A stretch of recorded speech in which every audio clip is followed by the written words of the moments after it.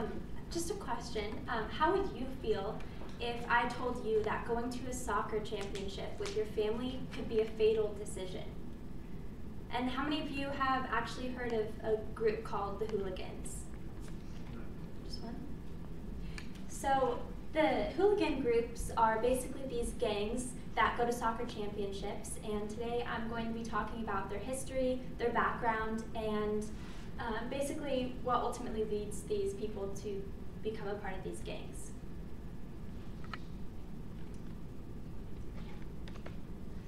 So, um, to start off with their history, um, according to ESPN in 2018, Borden states that um, they're mostly in European countries, especially um, France, as well as Russia and England. They've been around since 1863, so they've been around for quite a while, but throughout the years they've gotten more and more popular, more people have joined them, and they were actually pioneered by the British, so it started in England.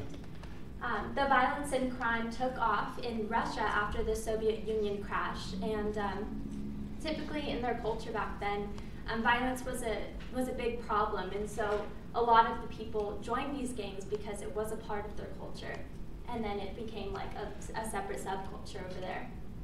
Um, so there was a Russia versus England game that was ta- taking place in France, and it led to major destruction. So people were destroying cafes, shops, stores. They were just going crazy, and um, the Russian Federation actually got in trouble with the soccer organization and they had repercussions. And then um, in the Russian culture, they even have slang for the fights that go on.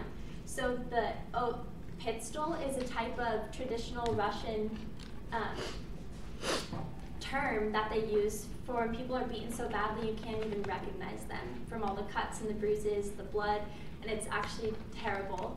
And then solyanka is a traditional Russian soup that they make in their country and they use that in the fights because there's fists, there's blood, and there's just a bunch of humans in like one giant human soup. It's actually quite gross. And then in 1983, one of the gangs actually chased down the army itself. That's how strong they are. So, why do people decide to become a part of this subculture?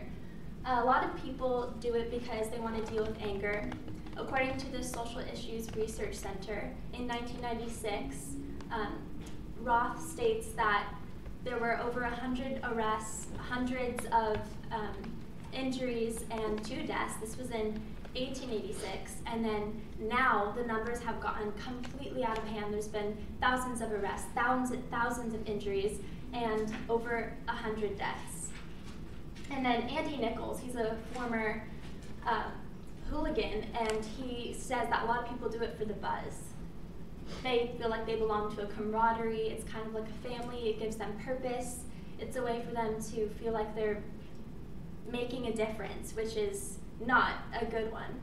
And then there was a movie called The Green Street Hooligan, and it actually glamorized becoming a hooligan for people. So I think that's where people kind of heard about it and then ended up like, getting involved.